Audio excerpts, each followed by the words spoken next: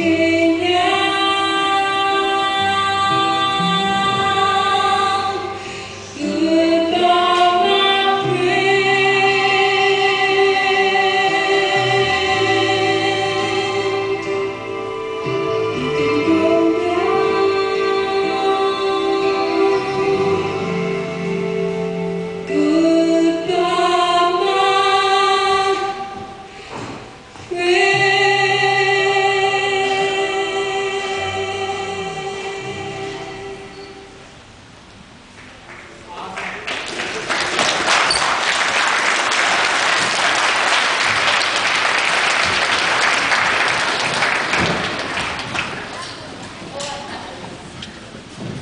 this time, we're going to welcome into the ring some of the guys that knew Adam best. Vicious Vern Siebert, gorgeous Michelle Starr, Disco Fury, Ladies' Choice. Going to say a few words. Adam Dykes, uh, I think myself and uh, Mar- Marlette Silver's been known the longest. I met Adam Dykes and James Olson were 15, 16 years old. Uh, they came over to John's house. They wanted to uh, do a little interview with me for the school, school newspaper. I did it with the SIAC and, and stuff there. From then on, they were hooked, they were involved. They were the best supporters any local wrestling promotion have. Behind the scenes, they made the programs, they made the newsletters.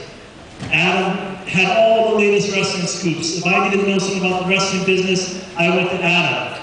Adam, he, he was the mastermind behind it. Those kids would come to my house, they would come to John's house. We would sit there for hours, hours in John's basement. John had this really bad office in the basement, messy. We would sit there for hours, talk about wrestling and funny things. Gary Allen was there. at the time period, those, you know, Adam was more than a wrestler to me. He was my friend. He was he was family to me. There was many nights where Adam, James, and other people would come to my house, my wife would make us dinner. We'd sit there and watch wrestling.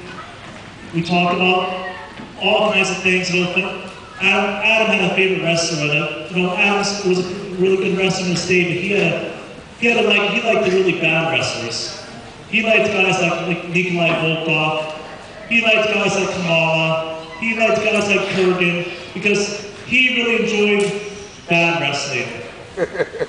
Adam, Adam could find humor in anything. He was he could always make us laugh. He, was, he always had a smile on his face. Adam, I'm gonna I'm gonna miss you forever, my friend.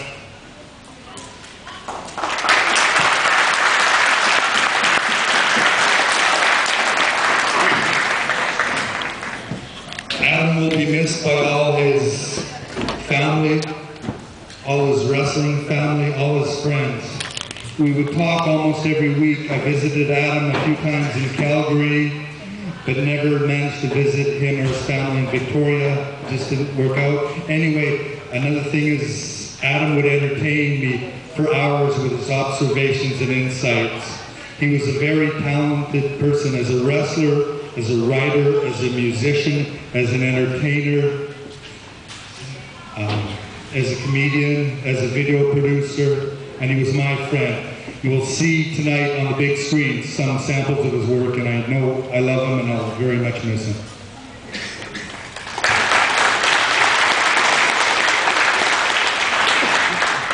When I first started wrestling, uh, I had four guys that I really looked up to the most. Uh, George Michelle Starr, Tony Kazina, Mr. Thug, and Adam Firestorm, aka Torch. Uh, not only did I have over 100 matches with the Torch, or Adam Firestorm, um, he shared a lot of good memories with me. But if I can fast forward a little bit, September 26th of 2009,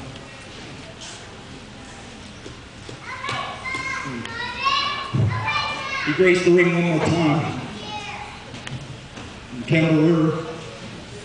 And he gave me a great match. Sorry. He gave me a great match. He didn't want to wrestle, but I was on him.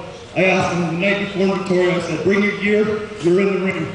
Me and you one more time, come on, anybody. He said, no, no, I can't do it, can't do it. So when he showed up in Campbell River, he showed up, he opened that bag, and there it was. Ellen Torture, right there. I jumped up and down like a little kitty schoolgirl, and it, it was just insane. Me and him, one last time. The torch will live forever in my heart. He's given me so much. God bless. Thank you, my friend.